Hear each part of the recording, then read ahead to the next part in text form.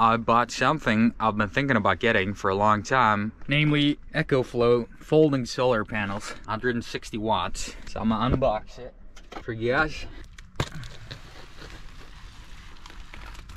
Let's see what's in here. Neat little bag. That's way more portable than my 180 watt panel. There's a manual. Oh wait, something here.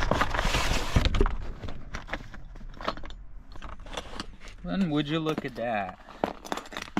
Carabiners, three, four of them. MC42, which seems to be MXT60 cables. It's actually working pretty well. 102 watts.